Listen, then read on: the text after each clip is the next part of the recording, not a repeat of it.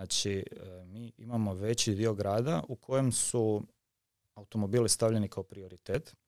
To što su oni sad prioritet ne znači da se oni moraju izbaciti iz priče u potpunosti. Znači, oni, oni su nužni, neophodni i tako dalje.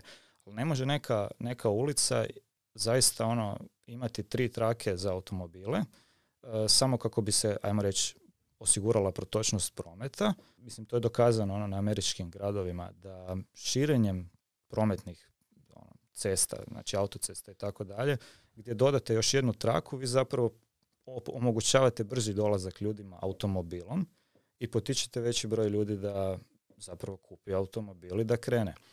Svaki put kad bi se dodala jedna traka u velikim gradovima, ono, američkim konglomeracijama, dogodilo se to da promet teče bolje po prilici pola godine do godinu dana, dok nije dovoljno ljudi kupilo automobil kako bi sad po novome brže stiglo do cilja i opet se svi nađu u istoj gužvi.